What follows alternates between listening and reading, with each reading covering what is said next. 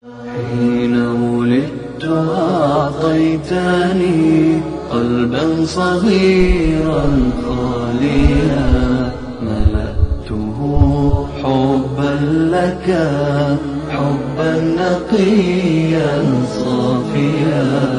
حين ولدت أعطيتني قلبا صغيرا خاليا ملأته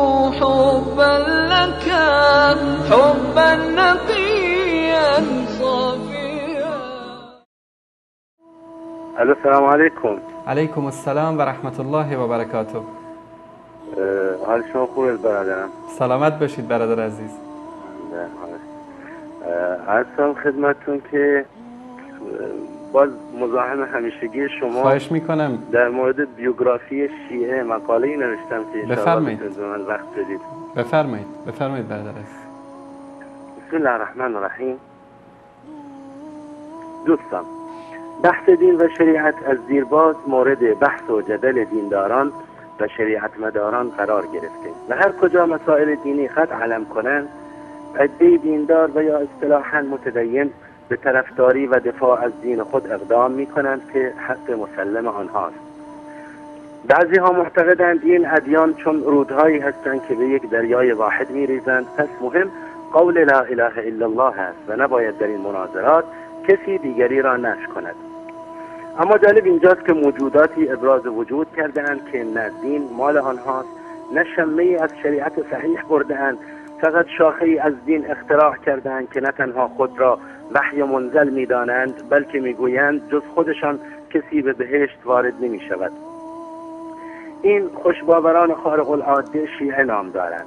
شیعه یعنی پیرو و اینها به دروغ خود را پیرو علی ابن ابی طالب پسر عم جلیل القدر پیامبر مکرم اسلام می‌دانند. اینها پیرو شخصی هستند که نه کتابی از جانب خدا بر او نازل شده و نه حتی پیامبر می باشد البته با خواندن سیره حضرت علی ناگفته پیداست اینها مثل کنه به زور به ایشان چسبیده اند و علکی تابعیت ایشان را جار می‌زنند و ایشان از آنها مبراست. از همین ابتدا وجود غیر مشروعشان زیر سوال می رود این موجودات ذره هیکل نما البته از دید و باور خودشان معتقدات جالب و خندهداری دارند که اشاراتی به آنها خواهم داشت. البته خودم سی سال از عمرم جزء این مجموعه باطل بودم. الله متعال به فضل و کرمش بر من, بر من منت گذاشت و از چنگ دیو تشیع مرا رهانید.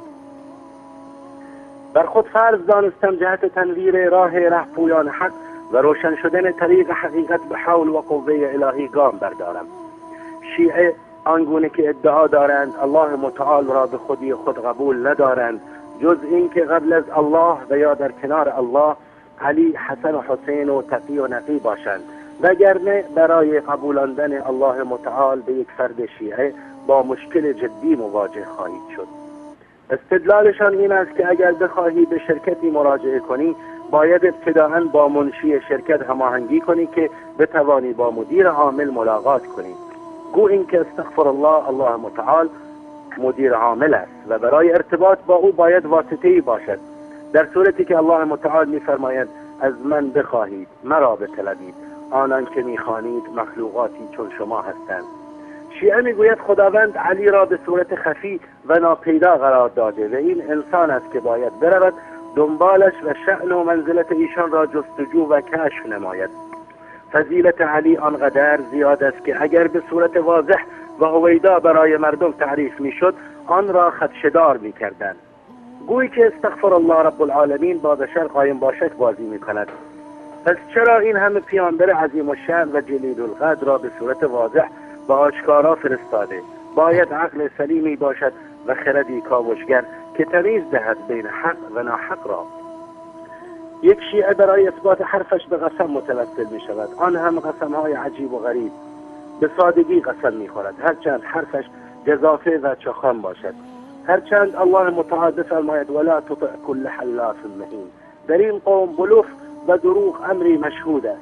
مثلا اگر بخواهی از مغازه جنسی بخری آنقدر قسم می‌خورد و برای فروش جنسش حتی تاریخ مصرف گذشته به دروغ و الله متعال قسم می‌خورد. لیکن اگر به همین فرد بگویی بگو به حضرت عباس عقب نشینی می کند چون معتقد است قسم حضرت عباس او را می گیرد اما از الله متعال می شود به شیوه در رفت. باور شیعه بدین صورت است که اگر در جای گیر کرد و دیگر عباس و علی و تقی و نقی نتوانستند برایش کاری بکنند آن وقت با تضرع و گریه و زاری به الله متعال مراجعه می کند و خواهان حل مشکلش خواهد شد. اما همین که الله جلیل برایش مشکل گشایی کرد آن وقت خداوند به دست فراموشی سپرده می شود و با افاده و قیافه حق به جانب خواهد گفت قربون امام علی که مشکلم را حل کرد. چه خوش فرمود الله متعال که و اذا کشفنا عنه فولا مستکبرا در راستای قسم های شیعه که قبلا اشاره کردم قسم های دیگری در این قوم مشهود است که عبارت است از به ناموس زهرا. الفاظی چون ناموس زهرا را به عنوان قسم تلفظ می کنند و زهرا همان فاطمه دخت گرامی پیامبر مکرم که به ناموس زهرا یعنی به پاک دامنی و عفت زهرا. نمی‌دانم به حجاب و عفت قسم خوردن دیگر چه سیغه ای است. و این زهرای مظلوم گاهی خواهر شیعه می شود گاهی عمه یا خاله شیعه می شود و گاهی هم بیبی بی خطابش می کنند که یقینا اگر خود حضرت زهرا زنده بود از این قوم تبری می جست. واقعا قسم های شیعه دهان را از تعجب باز می گذارد استدلالشان این است که الله متعال به زیتون و انجیر و غیره قسم خورده. ما هم اجازه قسم داریم. بابا جان الله متعال از سر خدایی خودش و مالکیت اکوان به هر چی دوست دارد قسم می‌خورد. هر کاری اراده کند انجام می‌دهد. انسان باید فقط سر تسلیم فرود آورد و سمعا و طاعا بگوید لکن شیعه همیشه بر الله متعال. بهانه تراشی می‌کنند و این چیزی نیست جز مصداقیت این آیه بر احوال این قوم که اتجادلون فی الله. دوستی دارم که اهل منطقه به فاصله 80 کیلومتری محل سکونتم بود. از دوره سربازی با ایشان آشنا شدم. بعدها پیمانکار خط لوله شد. روزی به من زنگ زد و گفت می‌خواهم ظهر به خانه ات بیایم. گفتم خوش آمدی. گفت نباید تدارک نهار هزینه بر کنی و هر چی نهار شماست همان را می‌خوریم. گفتم باشه. گفت قسم بخور. گفتم نیاز به قسم نیست. هر چی برنامه نهاری امروز ماست همان را می‌خوریم. گفت نه. قسم بخور که اهل بیت را به دردسر نیندازی. گفتم والله هر چی نهار باشد همان را می‌خوریم و چیزی اضافهش نمی کنم گفت نه. بگو به سید عباس. بله دوستان. در باور شیعه الحیاذ بالله پروردگار متعال واژه‌ای به کریه و نیز در باور شیعه با انده که گریه بر واقعه کربلا تمام گناه ها بخشوده می شوند می‌گویند قطره اشک بر امام حسین کوره ای از آتش جهنم را فروکش می کند لذا می بینید در مراسم سوگواری امام حسین مخصوصا تا سوعا و آشورا افرادی را خواهید دید که کاملا شناخته شده اند آنها را خوب می شناسید معتاد دود درو خدا نشناس. می بینی با شدت و زار زار می گریند بعضی ها هم زورکی خود را به گریه می اندازند چون بنا به اعتقاد واهی و پوچ این گریه و شیون و زاری ها برای امام حسین را بخشاننده گناه می دانند و نیز یک شیعه اگر در کارش گریه شد برای فلان امام و فلان قبر نظر می کند برای اشخاص گاو و گوسفند می‌کشند. بعد هم می نشینند و نظرشون رو خودشون می‌خورند.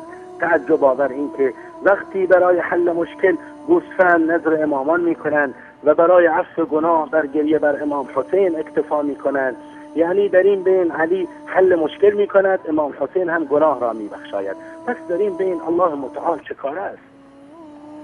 بهشان می‌گویی بابا جان اگر امام علی برای پاک کردن گناهان شما واسطه می شود پس امام علی طرفدار ارتکاب گناه است و بر خطای شما راضی است که شفیع شما می شود و اصولا دفاع از ظلم انسان را در زمره ظالمین قرار نمی دهد می‌گویند نه این وصله ها به امام علی نمی چسبد اصلا تو مشرکی. حالا بیا و درستش کن. دعوت به توحیدشان می‌کنی. می‌گویند تو مشرک هستی. واقعا مضحکی نیست. این سخنان ابلهانه معتقدات سخت شیعه است. افرادی ناقص العقل و توی هویت که فقط ادعا دارند و خودشان خوناشام ترین دشمنان اسلام هستند. بدبختانه آنها بر ما مسلمان حساب شدند و کارهایشان را از دید اسلام می‌بینند. در صورتی که نه تنها مسلمان نیستند بلکه وجودشان برای اسلام ضرر بخش و آسیب رسان است. گاهی آدم گناهی مرتکب می شود و وجدان و نفس لوامهش او را نهید می دهد و به گناهش اعتراف می کند و سعی می کند دیگر گناه نکند. این اعتراف به گناه در محاکم و دادگستری ها مزیتی دارد که در جرم انسان تخفیف خواهد شد کما اینکه الله متعال میفرماید الذین اعترفوا بذنوبهم. و گاهی انسان گناهی مرتکب می شود و بر گناهش اصرار می ورزد یا عذر و بهانه تراشی می کند که من این کار را به این دلیل انجام دادم و برای ارتکاب گناهش دلیل می آورد ولو اینکه دلیلش بیخردانه باشد. قاطبه تشیع از این قاعده مستثنا نیستند.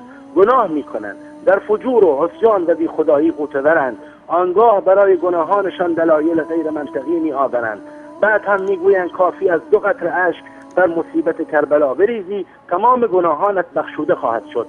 حتی زیارت قبر امام حسین را معادل هزار بار زیارت خانه خدا میدارند. سبحان الله از این معتقدات. باور شیعه می‌گوید اگر از تشیع خارج شدی مرتد خواهی شد و حکمش قتل است. قافل از اینکه تشیع حتی دین نیست که برگشت از آن ارتداد باشد. شاخه ای اختراع شده در دین که توسط عده فاسد و فرصت طلب احداث شده که معتقدات فکری فلسفی و مذهبی آنها سر تا سر غلط بیهوده و بی اساس است سالهاست و به, و به اسم خمس مالشان را می دزدند و به اسم سیغه ناموسشان به تاراج می رود لکن همیشه شعار هیهات من الذله سر می دهند آخر ذلت از این ذلیلتر اساسا خود بر تربینی اساس تفکر تشیع است. آنگونه که می‌گویند پیامبر مکرم در هنگام رحلت به فامیلش سفارش کرده اطرت مزعومی که هنوز به دنیا نیامده بودند و معلوم نیست کیند کیستند و چه خواهند کرد. العیاذ بالله. پیامبر مکرم که نجات پرست نبود که سفارش به فامیل به دنیا نیامده اش را بکند. والله پیامبر مکرم سفارش به کتاب الله نمود و راه و روشی که خودش زندگی کرد. همان سنت صادق نبوی. نه به فامیل و اطرت و عشیره آن هم در عهد رسول که به دنیا نیامده بودند.